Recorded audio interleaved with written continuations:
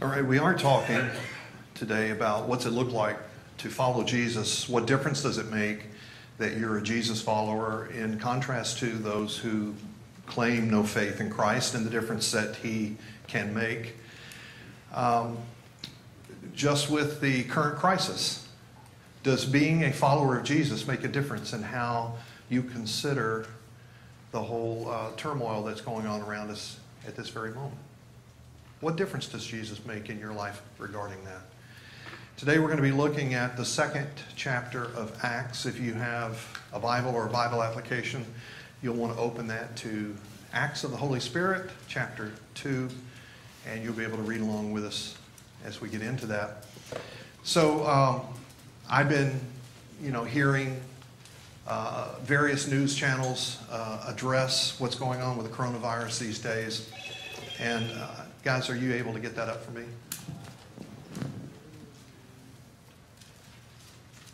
Once again. Oh, okay. Let's do interviews online. Right. So, uh, and we don't want to make light of anything that's going on with uh, regard to concerns around the coronavirus and the con- uh, contagious nature of things and the difference that that can make in people's lives and in a health concern kind of way. But uh, there can be an overreaction. There can be uh, a state of hysteria, if you will, and it begs the question does our faith make a difference in all of that? And guys, if you don't get it, I'm going to have to go on. Um, just wave at me, yes or no. Uh, five seconds. Four, three, two, one. Do you want to just do it now? Or do you want to, uh, uh, us to pull it up when we can? Um, if you can follow me, pull it. Don't show what I'm not going to let everybody see now. Um, so anyway, there's a whole series of shots that uh, show kind of the hyper reaction of what's going on these days that uh, we'll forego, and I will assume God just didn't want us to consider that for the moment. but uh, I even had a shot of a cat just for Becky Wilson, but uh, I'll have to show you that one-on-one offline sometime. Uh, so when we think about um, what the book of Acts has done for us, we're in a series that we're calling Moving from Jesus the Man to Jesus the Movement. And uh, let me pull this up for myself. And in that, we uh, began last week and we were talking about that this movement from Jesus the man to Jesus the movement uh, took place after the crucifixion, after the resurrection, and then for the 50 days that Jesus made appearances to people uh, and had various interactions with people leading up to the time of ascension, which brings us to the ancient Jewish experience that was called Pentecost. So that transition from the focus on the man to the movement began as we discussed last week in chapter 1 um, with God powerfully speaking into the lives of people. And uh, for those of you that were part of chapter 1 with us last week, you'll remember that he primarily spoke into our lives with regard to uh, identity and to purpose. And we have been for some time gridding, putting on a grid, what does that relationship look like uh, for who is God, what does God do, therefore who are we, and what is it that we do.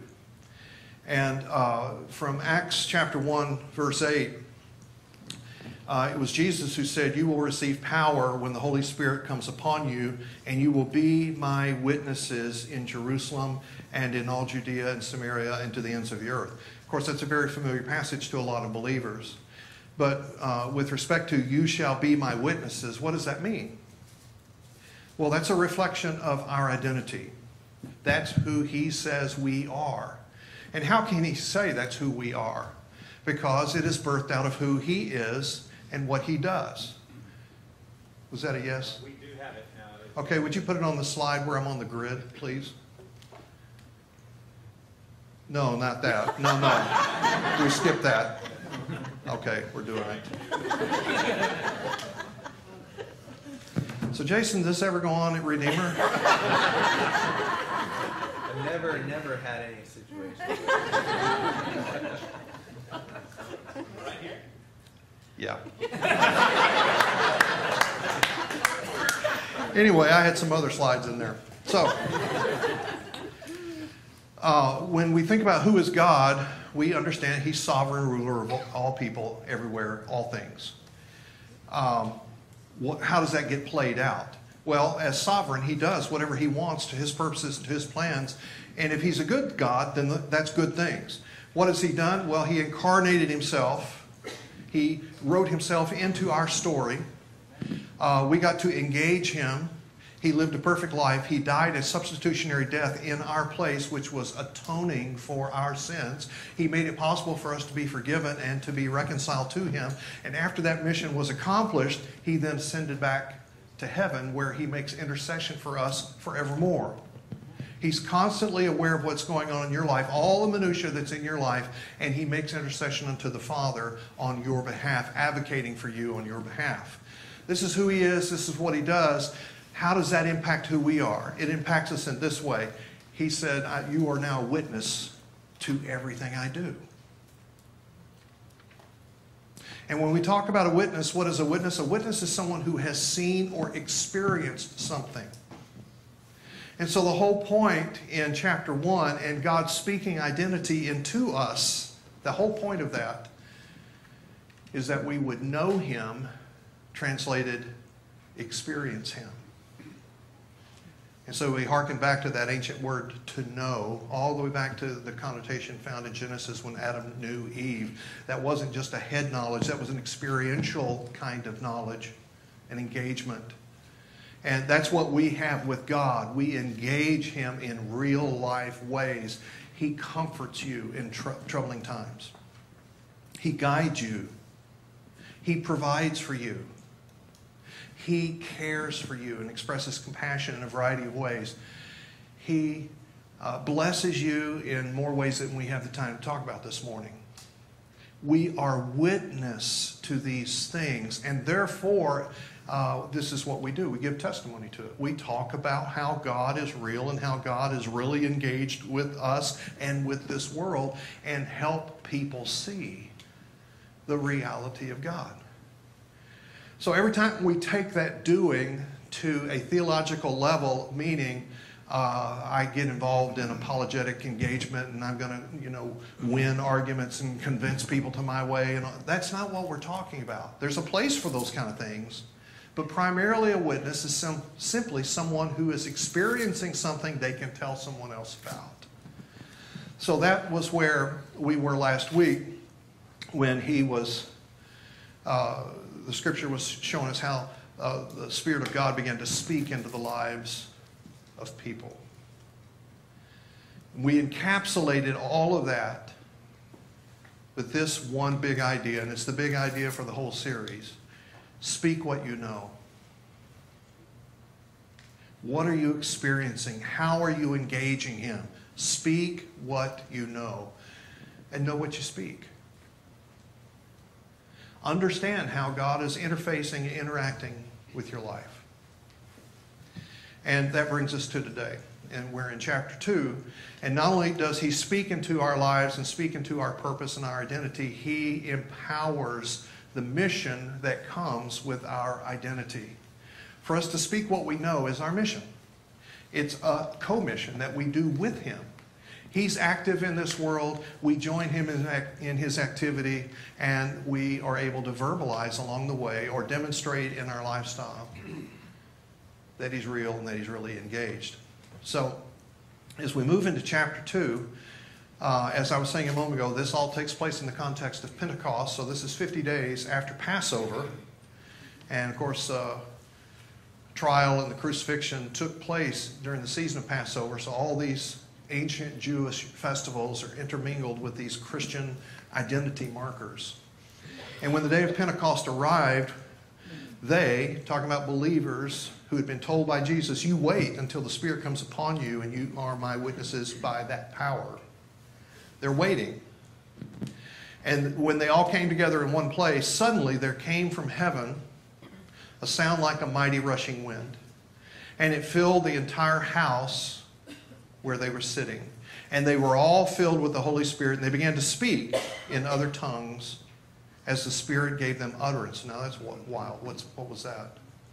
And now there were dwelling in Jerusalem Jews, devout men from every nation. So it's Pentecost, it's a major festival. Jews from a variety of nations have converged on Jerusalem. And they have done so from every nation under heaven. And at this sound, the multitude came together. So all the big crowd and the believers began to gather at this remarkable sound going on. And they were bewildered because each one was hearing, speaking in his own language. And they were amazed and they were astonished, saying, Are not all these who are speaking Galileans? These early followers of Jesus. Aren't they all Galileans? And how is it that we hear, each of us, in his own native language? And so it kind of raises the question what just took place? And we know it's a miracle. Is it a miracle of speaking?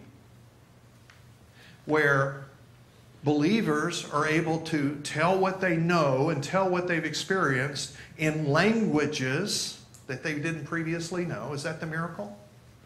Or was it a miracle of hearing?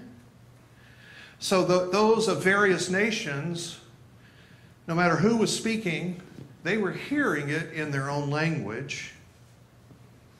What's the miracle? Well, here's the miracle. Whether it's this miracle of speaking or hearing, it's the able, the ability to get the gospel, to hear the good news of all that has transpired with Jesus' life, death, resurrection, and now ascension.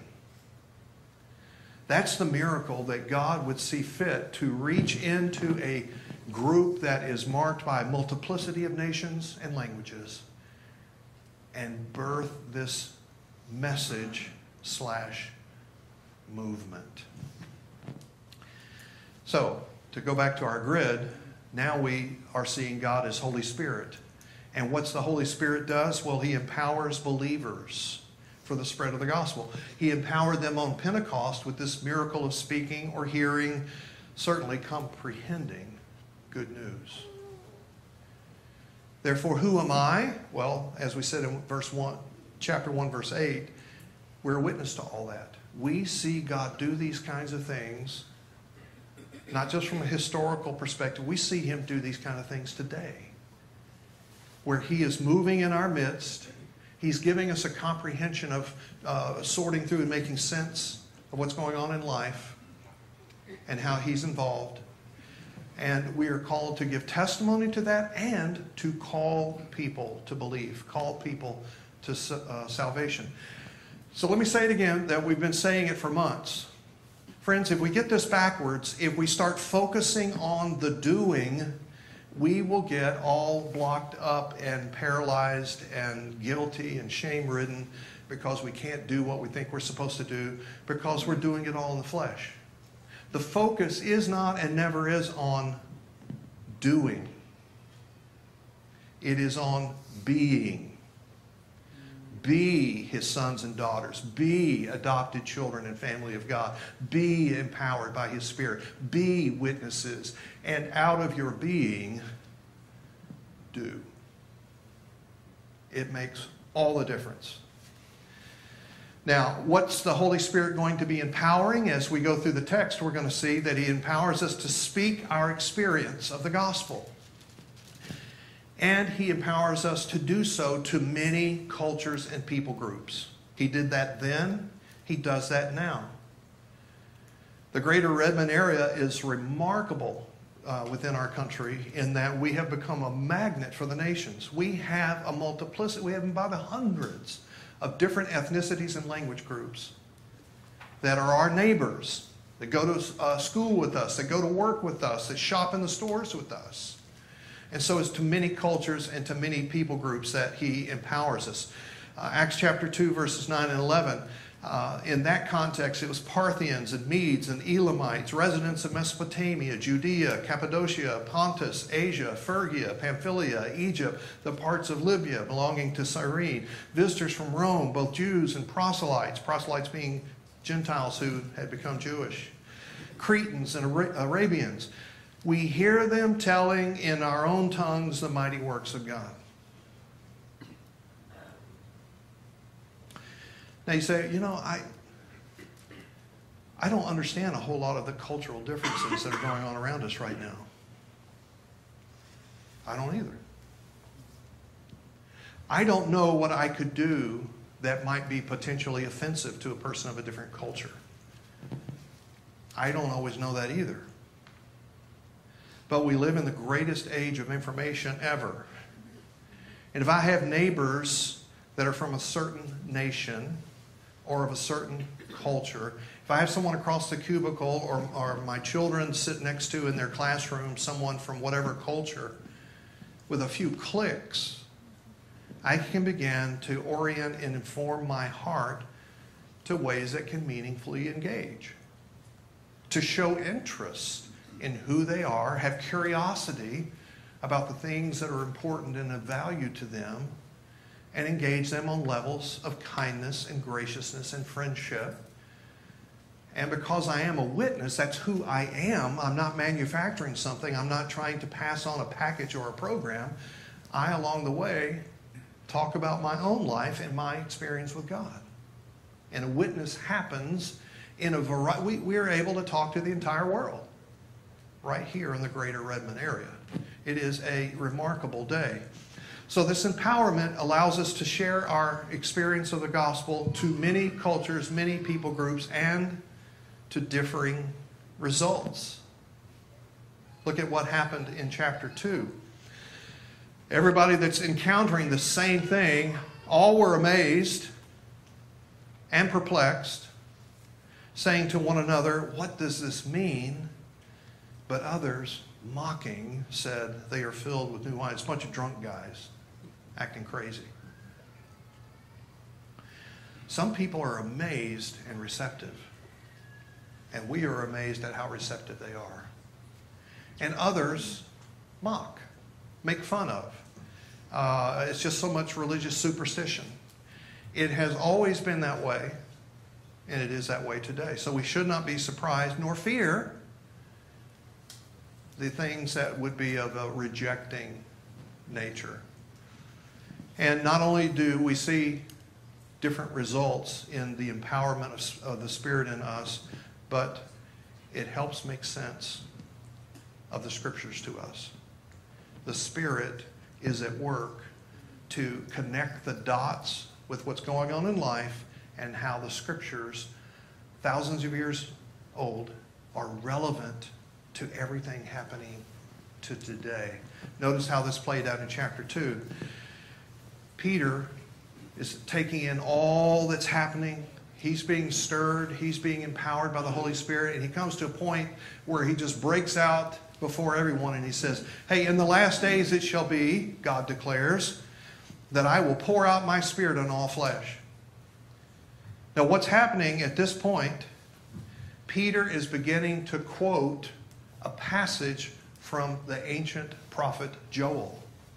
He's seeing everything that transpires. The Holy Spirit is connecting some dots for him with respect to the scriptures that were hundreds of years old by that time to what was going on in this very present Pentecost time. And he quotes this passage God declares, I'll pour out my spirit on all flesh. Your sons and your daughters shall prophesy. Your young men shall see visions. Your old men shall dream dreams. And it shall come to pass that everyone who calls upon the name of the Lord shall be saved. He was able to bring together those jigsaw puzzle pieces. This is what the Holy Spirit does for us. We read an ancient text and it seems as fresh and as current as tomorrow with respect to our circumstances. So it makes, helps us make sense of ancient scriptures and it has the power to pierce hearts with truth. Now, this is remarkable. I don't have the power to pierce a heart and a heart go, you know what? I didn't think it was true, but it is. That's true. Notice what happens in the text. Let all the house of Israel therefore know for certain that God has made both Lord and Christ this Jesus whom you crucified. That's pretty straight talk. Now, when they heard this, they were cut to the heart. Hey, I just had this conversation yesterday. That's how current these things are. I was visiting with a friend that a lot of you know here, and we got to reminiscing about things, and uh, I had remembered the first time that he had come uh, into this Meadowbrook family. He is a scientific type background guy and an engineer, and he had pretty much relegated religion to something for religious people or superstitious people, whatever. He really didn't have anything to do with it. Even though his wife was coming here and pretty involved here, and she'd been inviting him to come with her, and he didn't really want to. It's the case in a lot of scenarios. But then his mother got sick and his mother died. And in the aftermath of his mother's passing, he said, I began to consider is there a life after death?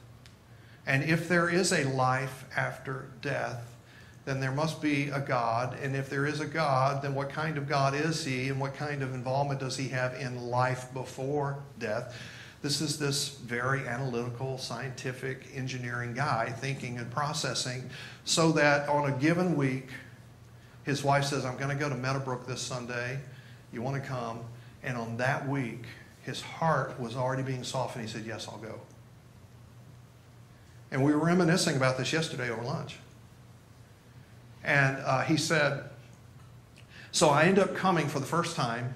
And back in those days, we met at Redmond High School. So, those you guys that are at Redmond Middle, we've been where you are for a long time before we got in here.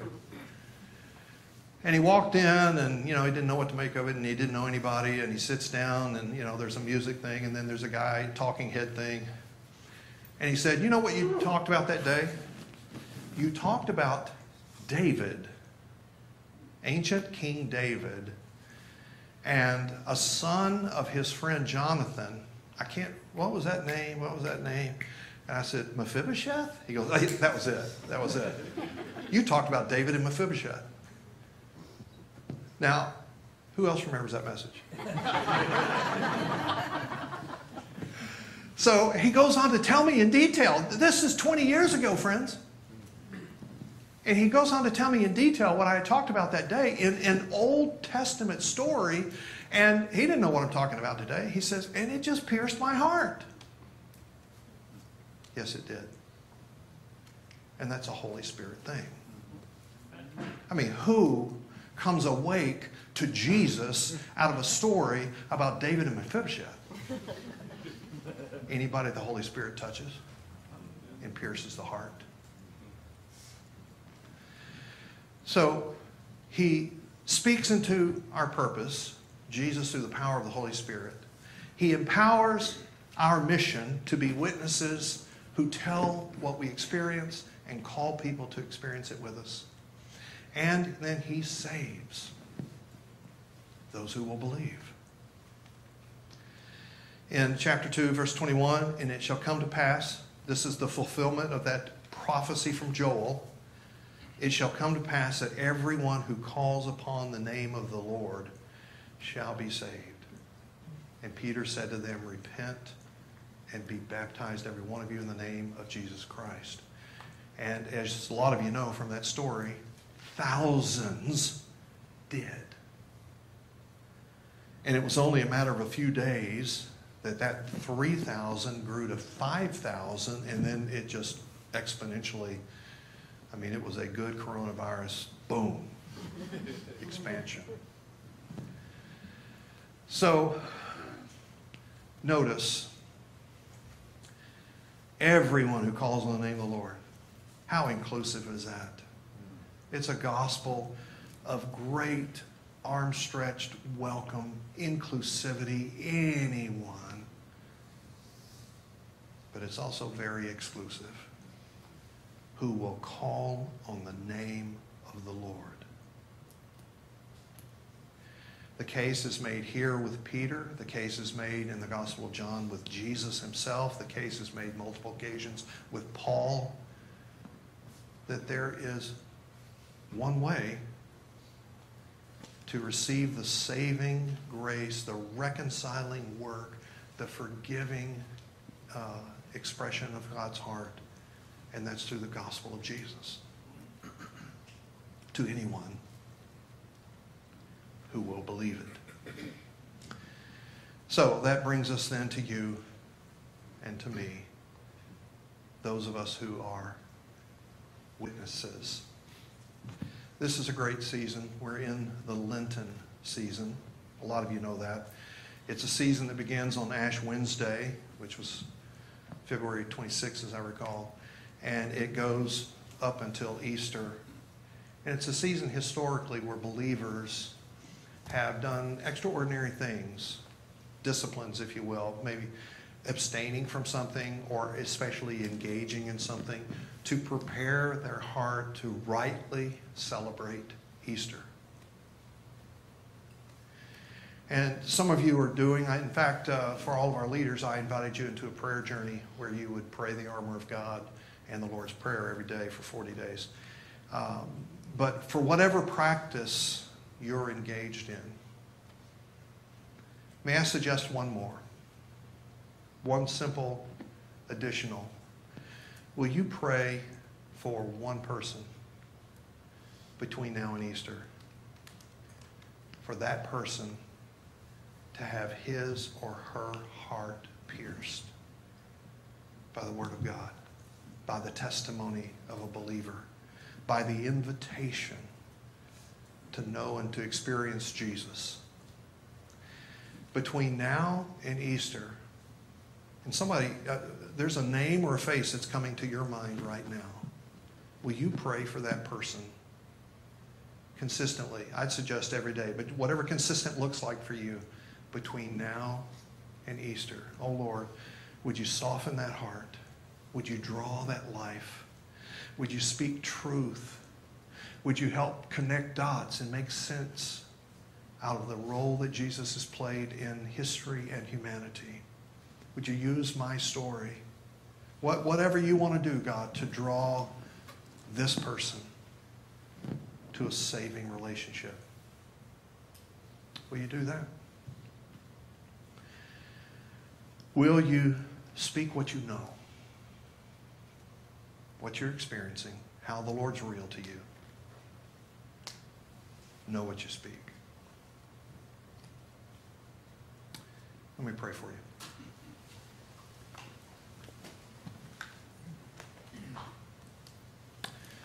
Father, thank you. By the power of your Spirit, even now, you have brought a name or a face.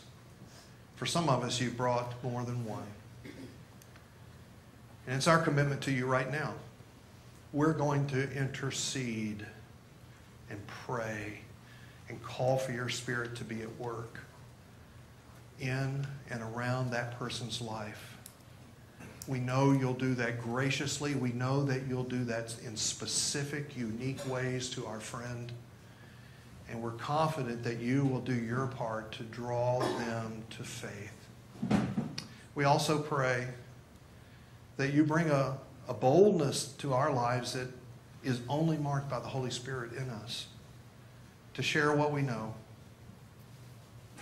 and to know what we share. We pray this for your glory, for our joy. In Jesus' name.